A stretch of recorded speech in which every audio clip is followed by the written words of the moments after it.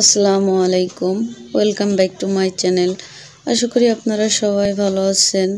আমি আল্লাহর অশেষ রহমতে ভালো আছি। আপনাদের সাথে শেয়ার করব খুব মজাদার একটা পটলের খোসার ভর্তা। ইউনিক একটা ভর্তা। এই জন্য আপনাদের সাথে শেয়ার করলাম। এই যে দেখেন পটলের খোসাটা আমি ছড়িয়ে নিয়ে ভালো করে ধুয়ে নিলাম। নিয়ে এখন আমি এটা হালকা তেলে একটু ভেজে নেব।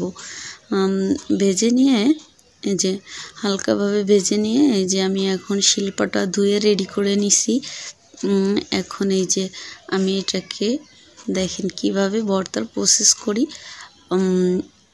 এটাকে এবার পাটার ভিতরে নিয়ে আমি যে বাটবো। খুব মিহি করে বেটে ফেলাবো ভর্তাটা যত মিহি হবে, এটা খেতে তত মজা হবে। বাট কারণ পটলের খোসাটা একটু শক্ত শক্ত থাকে, এই জিনিসটা দাঁতে পড়লে মজা লাগবে না। এই যে, আমি একটু লালচে করে ভেজে নিয়েছি পটলে, তারপরে মাছটা, এই যে তেলাপিয়া মাছ, টাকি মাছ, যার কাছে যে মাছ থাকে, সেই মাছ ইউজ করতে পারবেন। আমার কাছে তেলাপিয়া মাছ ছিল এই জন্য তেলাপিয়া মাছটা ভেজে, কাটা ছড়িয়ে বেছে নিছি দুই টুকরা মাছ। আর এখানে আপনার এখন আমি এটাকে খুব সুন্দর করে বেটে নেব। আর যার কাছে যে মাছ থাকে সেই মাছটা এতটা মিহি করা লাগবে না। অবশ্যই দেখতে পারবেন আমি কীভাবে করি। কারণ মাছটা আর কেউ শুকনো আমি কাঁচামরিচ সাথে দিয়েই কিন্তু ভেজে নিছি। যে যে পরিমাণে মরিচ খাবেন, সে সেই পরিমাণে মরিচটা বেটে নেবেন। দিয়ে ভেজে নেবেন। কারণ কেউ যদি বেশি মরিচ খান সেহেতু বেশি দিবেন। আর যেহেতু পটলের ভর্তা সেহেতু মাঝে মাঝে আপনার মরিচটা হলে অনেক বেটার হবে।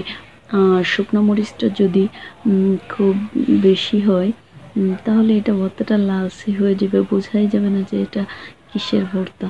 এই জন্য আমি কাঁচামরিচটা ইউজ করছি, আর এই ভর্তাটা কাঁচামরিচেই অনেক স্বাদ লাগে। আপনারা ট্রাই করে দেখবেন। এক নিমিষে এক থালা ভাত শেষ হয়ে যাবে। যে আমি এখন মাছটা দিয়ে দিচ্ছি, মাছটা দিয়ে হালকা বাটা দিব। এই যে আমি কিন্তু খুব বেশি বাটা দিব না, হালকা। এই যে দেখেন। যে তারপরে আমি এখন এর ভিতরে পেঁয়াজ দিয়ে দিচ্ছি। গোটা তিনটা পেঁয়াজ, দুই তিনটা ছোট সাইজের পেঁয়াজ। যদি বড় হয়, একটা, দুইটা দিলেই হবে। এই যে হালকা বাটা, ওগুলো আমি মেয়ে করব না। কারণ পেঁয়াজটা দাঁতের তলে পড়লে কামড়ে অনেক মজা লাগবে। মাছের একটা ফ্লেভার আসলে অসাধারণ। আর যদি কেউ মাছটা অ্যাভয়েড করতে চান, যারা মাছ পছন্দ না, তাহলে অবশ্যই মাছটা অ্যাভয়েড করতে পারেন। জাস্ট পটলের খোসাটা দিয়ে এভাবে ভর্তাটা তৈরি করতে পারেন। আমি মাছটা দিছি, স্বাদটা আরও বাড়িয়ে দিই মাছের পরিবর্তে আপনারা ওর ভিতরে ডিম ভেঙেও সিদ্ধ ডিম ইউজ করতে পারেন বা ডিমটা ভেজে ঝুরি করেও ইউজ করতে পারেন। যারা মাছ খান না বা মাছকে অ্যাভয়েড করতে চান এখন আমি এই যে টু দুই চা চামচ সরিষার তেল দিয়ে দিছি। একটু লবণ দিয়ে এখন আমি এগুলো নেড়ে চেড়ে ভালো করে ভর্তাটা মাখিয়ে নেব। দেখেন যে আমি লবণ স্বাদ মতো যে যেমন লবণ খান, তেমনই লবণ দিবেন। ভর্তাটা সত্যি অসাধারণ হয়েছিল না খেলে বুঝবেন না। যার যার ভালো লাগে অবশ্যই বাসায় একবার ট্রাই করে দেখবেন। আমার কথা বিশ্বাস যদি হয়।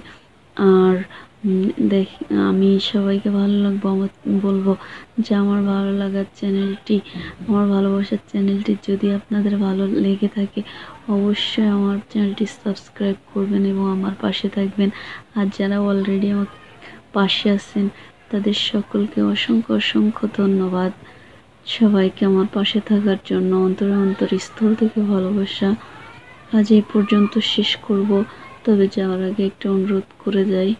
যদি কোনো ভুল ত্রুটি হয়ে থাকে, অবশ্যই ক্ষমা দৃষ্টিতে দেখবেন এবং এই ছোটো বোনটার সবাই পাশে থাকবেন। প্লিজ, আজ এখানেই শেষ করছি। কাল আরেকটা নতুন একটি ব্লগ নিয়ে আপনাদের সামনে হাজির হব। আপনাদের দেখার আমন্ত্রণ রইল সবাইকে। যে দেখেন আমার বোম্বাই মরিচ ধনে পাতা দিয়ে আমি গার্নিশ করে নিছি। কার কার বোম্বাই মরিচটা পছন্দ আমাকে সবাই জানাবেন। আমি কিন্তু খুব বেশি জাল খেতে পারি না বাট এই বোম্বাই মরিচটা আপনার বায়ের জন্য সে খুবই পছন্দ করে। এই যে, দেখেন কত ইয়াম্মি দেখা যাচ্ছে ভর্তাটা। আমার জিভে এখনই জল চলে আসছে। আমি ভর্তাটা করার শেষে আমি গরম গরম ভাতে এটা খেয়ে নেব। আজ এখানেই শেষ করছি। আল্লাহ হাফিজ।